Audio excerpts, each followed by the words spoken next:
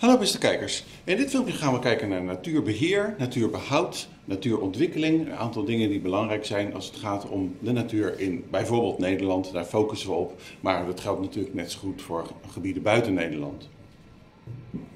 Er zijn natuurlijk heel veel verschillende soorten aantastingen en daarom moet je soms iets doen in de natuur om ervoor te zorgen dat een natuurgebied behouden blijft. Bijvoorbeeld hebben we al gezien dat er ammoniak kan inwaaien, waardoor de hoeveelheid stikstof in een natuurgebied hoger wordt.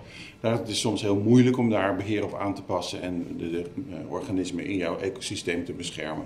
Maar eh, je zal dat wel proberen. En een mogelijkheid is bijvoorbeeld om eh, bepaalde natuurgebieden zoals heide te begrazen of te maaien, zodat met het maaisel en met de mest van de dieren de nitraten ook weer afgevoerd worden, de stikstofhoeveelheid. Wat dan vaak ingewikkeld wordt, is dat de balans tussen nitraat en fosfaat moeilijk te herstellen valt. Je moet dus vaak beheren. Zelfs als je een natuurgebied hebt, kan je zeggen hek eromheen niks meer aan doen. Maar ook dan zijn er invloeden van buiten, waardoor het toch zal veranderen. Noem dus nitraattoevoer of toevoer van ammoniak. Uh, noem bijvoorbeeld klimaatverandering. Er zijn gewoon dingen die uh, effect hebben op het natuurgebied. En als het natuurgebied dan een soort geïsoleerd eiland is, dan maakt dat migratie van soorten en uitwisseling van genen binnen soorten lastig. Vandaar dat er in Nederland gewerkt wordt aan de ecologische hoofdstructuur. Die staat wel grotendeels, maar er moet nog steeds het een en ander aan gedaan worden. En die heeft als bedoeling om natuurgebieden aan elkaar te koppelen. Door dus corridors van natuur te maken, langs snelwegen, langs spoorwegen, door een aantal uh, natuurgebieden te verbinden, door wat landbouwgrond op te offeren enzovoorts. Op die manier uh, verminder je de kans dat bijvoorbeeld door inteelt soorten uitsterven. Sommige soorten hebben nou eenmaal een redelijk groot oppervlakte nodig. Dat geldt natuurlijk niet voor een kevertje. Daar kan je in een hectare al een aardige populatie van hebben.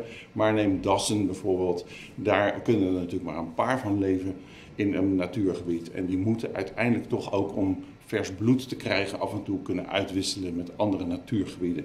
Vandaar dus het aan elkaar knopen van die natuurgebieden middels de ecologische hoofdstructuur. Er wordt dus heel veel gewerkt om ook bijvoorbeeld landbouwgebieden aan de natuur terug te geven. Uh, in bepaalde gebieden kan je op die manier wat grootschaliger processen aan de gang krijgen. Uh, neem het terugkeren van de kraanvogel als broedvogel in Nederland. Dat is dankzij het feit dat natuurgebieden zijn vergroot voor een deel. Uh, dat is belangrijk.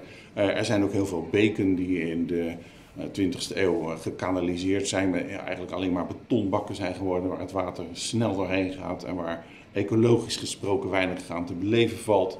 Als je die betonbakken lekker weer weghaalt en die beken weer een vrije loop laat, dan gaan ze wat langzamer stromen. Dat betekent dat de natuurgebieden waar die beken eh, door afwateren, dat die minder snel uitdrogen in de zomer. Dus dat is eigenlijk alleen maar gunstig.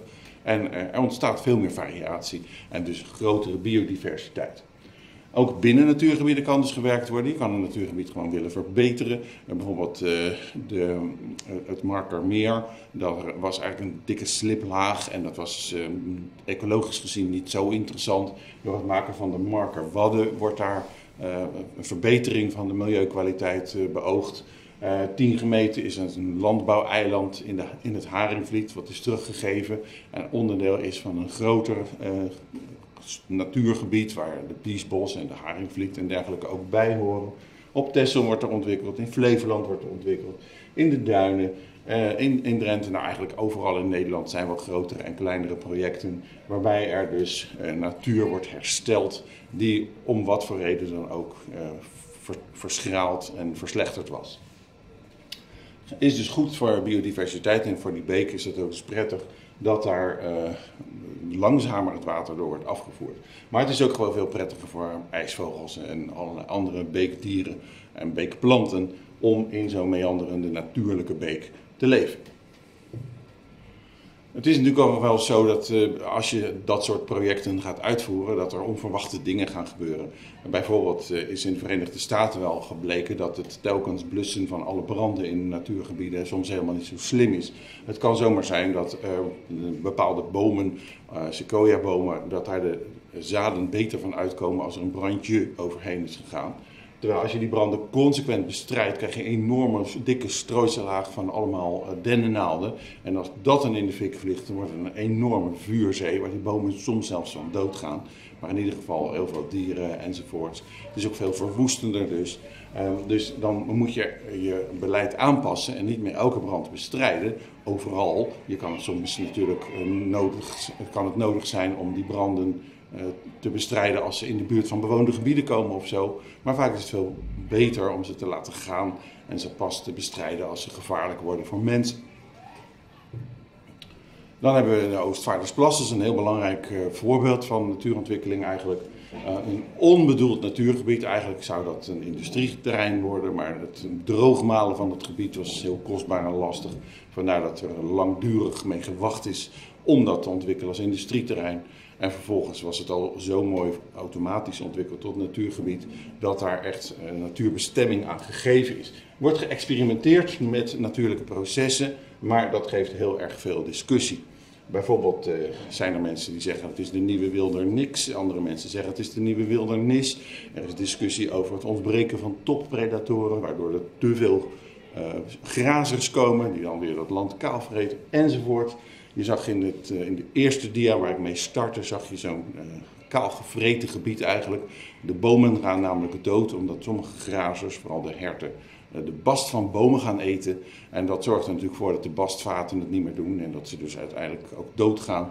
Dat wordt een heel kaal gebied dan dat, uh, uh, uiteindelijk. En dat zie je dus ook hier.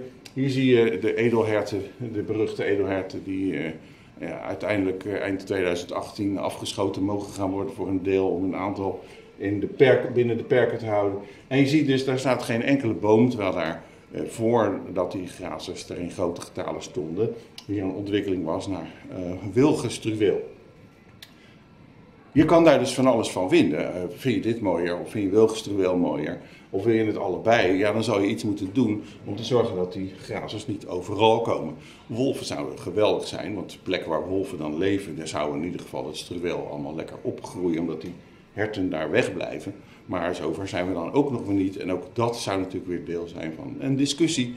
Uh, dan gaat het ook over dierenwelzijn. Moet je ze laten verhongeren of moet je ze bijvoeren? Of moet je ze afschieten? Uh, wat is uh, ethisch verantwoord enzovoort. Allerlei dingen kan je daarvan vinden. wat ik er persoonlijk van vind is dat het weliswaar een half natuurlijke ontwikkeling is. Maar dat je uiteindelijk inderdaad de natuur te ver verarmt door zoveel grazers op dat gebied te laten zijn. Dus dat het verstandig is om die op wat voor manier dan ook toch enigszins in, in binnen de perken te houden qua aantal. Dit was een stukje over natuurbeheer, natuurbehoud en natuurontwikkeling. Dingen die vaak samengaan. Tot een volgend filmpje maar.